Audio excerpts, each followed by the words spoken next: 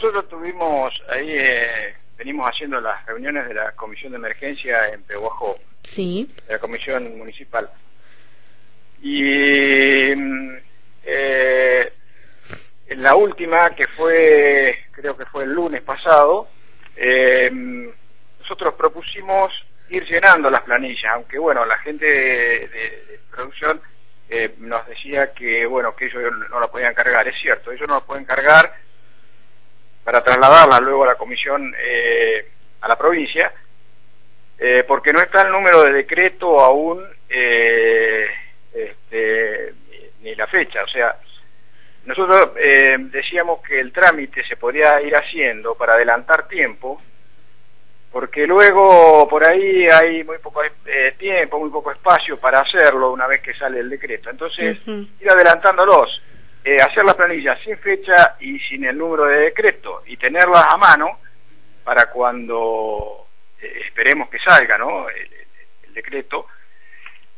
que em, de la emergencia que fue aprobada después de muchas discusiones, muchas peleas, en la comisión provincial el jueves a la noche, el jueves a mediodía.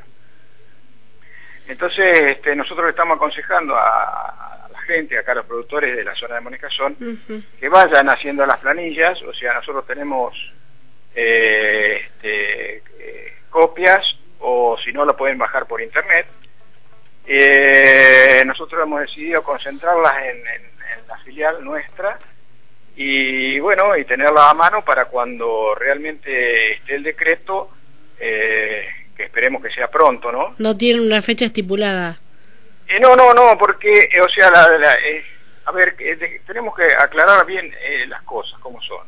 La Comisión de Emergencia acepta el pedido de Pehuajó, o sea, no solo de Pehuajó, yo acá la tengo en la mano y hay alrededor de 16, 16 partidos de la provincia de Buenos Aires circunscripciones de 16 partidos, en los que acepta la, la emergencia y eh, eso luego pasa a eh, por distintos ministerios, pasa por ejemplo al Ministerio de Economía, al Ministerio de Agroindustria, eh, distintas direcciones, hasta que finalmente es la gobernadora la que firma. O sea que hay un largo camino todavía para recorrer, ¿cierto?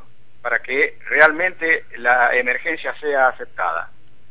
Eh, eso es lo que tenemos que dejar bien en claro.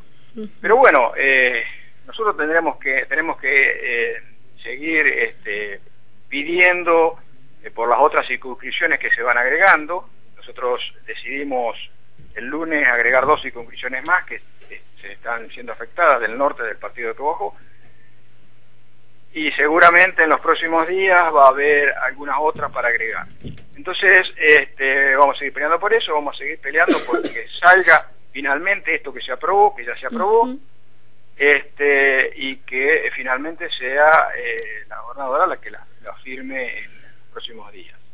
Eh, hay un ejemplo, por ejemplo, que tenemos muy cercano a nosotros porque vemos algunos productores que eh, tenemos campo dentro del partido de Hipólito Yrigoyen Hipólito Yrigoyen pidió emergencia hace eh, bastante tiempo ya, mucho tiempo antes que Pehuajó. Eh, salió, se aprobó enseguida, en poco tiempo, en la comisión, y pasó tiempo, pasó tiempo, y faltaban muy poquitos días para que ya se venciera el plazo cuando recién la gobernadora la firmó. O sea que ahora ya Anderson está pidiendo la prórroga. O sea que eh, este, no es una cosa rápida, no es una cosa eh, que, pasa. Además, eh, sabemos que hay mucha resistencia, muchísima resistencia eh, el Ministerio de Economía de la provincia y ARBA fundamentalmente este, a declarar la emergencia. Eh, sabemos que la provincia de Buenos Aires está en un estado muy crítico económico y, bueno, y comprendemos que este, se va a resentir de esta manera la recaudación en la provincia. Pero bueno, hay que ver eh, la situación en la que se encuentran los productores. O sea, si no hay emergencia, tampoco hay productores que van a poder seguir pagando sus, sus, eh, sus impuestos, sus aportes. Néstor, eh, el, trámite eh, no es rápido como lo, como lo dijiste vos, pero el agua sí, es rápida. Sí, claro. Sí, en el mientras tanto, ¿cómo está la situación hoy por hoy en, en Monescazón? ¿Cuántos milímetros cayeron durante este fin de semana y cómo está la situación? Sí, alrededor, había bajado bastante el agua, si bien seguía corriendo muchísima agua, pero no corría ya con violencia, corría tranquila el agua. Pero bueno, ayer ha habido muchísimo viento, ha llovido alrededor de 60 milímetros acá en la, en la localidad, no sé, en los alrededores, he hablado con otros productores, este, eh, más o menos 60 milímetros, así que eh, esto sin lugar a duda complica mucho, complica muchísimo. ¿no? Ni hablar. Sí, este, eh, además con pronósticos de una primavera, nos dicen los técnicos, normal, una primavera normal son lluvias de, de, de, 60, 80, 100 milímetros.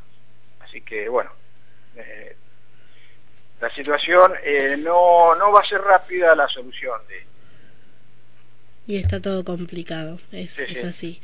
Néstor, bueno, te agradecemos muchísimo por esta comunicación, seguramente estaremos al tanto, pero recomendamos por lo pronto que para agilizar o ir agilizando eh, algunos trámites se aconseja llenar las planillas, que ¿dónde las podrán encontrar? Repetilo.